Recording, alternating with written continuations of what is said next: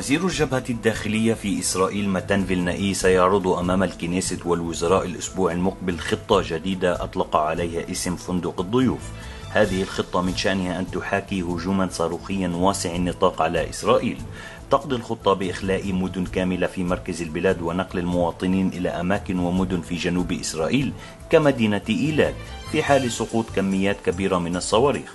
الوزير أشار إلى أن هذه الخطة جاءت في ظل التطورات والتهديدات الأخيرة في المنطقة كما وأن هذا البرنامج يصلح أيضا في حال وقوع كوارث طبيعية تقدر تكلفة الخطة بما يقارب 2 مليون شاقل.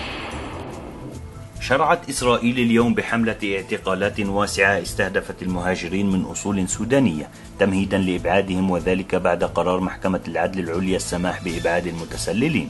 وتأتي الحملة الإسرائيلية خلافا لفترة الإنذار التي منحتها سلطة الهجرة للمهاجرين السودانيين حيث أمهلتهم أسبوع للاختيار بين المغادرة الطوعية والاعتقال والإبعاد. وقال مصدر في سلطة الهجرة الإسرائيلية بأن المعتقلين سيودعون السجن حتى حين لحظة إبعادهم. فيما كرر وزير الداخلية الإسرائيلي تهديداته متوعدا باعتقال كل مهاجر ومتسلل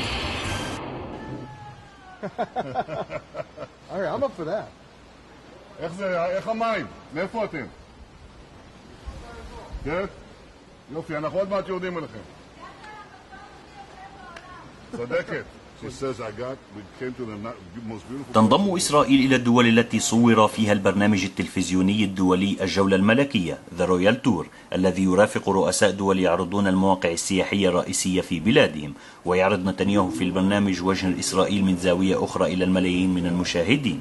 يقدم البرنامج الإعلامي الأمريكي الشهير بيتر جرينبرغ الذي قال لنتنياهو بأن هذه فرصة لإظهار إسرائيل بواسطتكم وسيادتكم ستكونون مرشدي سياحة وأكثر من ثلاثة مليون مشاهد. سيرون ذلك. هذا البرنامج صور أيضا في الأردن وفي المكسيك.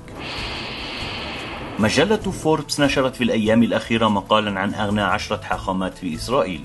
والحاخام بنحس أبو حتسيرة نجل الكاهن الكبير بابا سالي يتصدر المكان الأول من بين الحاخامات في إسرائيل حيث يملك ما يقارب واحد بليون دولار. وفي المكان الثاني الحاخام ديفيد حاي أبو حتسيرة يملك ما يقارب 700 مليون دولار. وفي المكان الثالث الحاخام يعقوب ألتار الذي يملك ما يقارب 300 مليون دولار. هذه القائمة الصادرة من مجلة فوربس أثارت حفيظة الكثيرين من المتدينين الذين ادعوا بأن الحاخامات لا يركضون وراء المال بل هدفهم هو الدين والعبادة.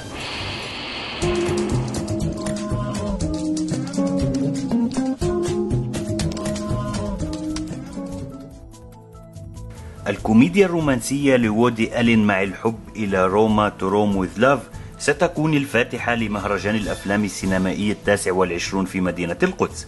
هذا الفيلم يحكي قصة مخرج متقاعد يزور روما يحاول العمل مع رجل يغني الأوبرا بجودة عالية فقط داخل الحمام. كما يحتضن المهرجان هذه المرة عشرات الأفلام العالمية من شتى البلدان. كما سيعرض أيضا أفلام إسرائيلية جديدة. السينما الإسرائيلية تمر في الفترة الأخيرة موجة من التحديثات والتألق. الأمر الذي برز في الأفلام الإسرائيلية الأخيرة التي نالت على شهرة عالمية واسعة.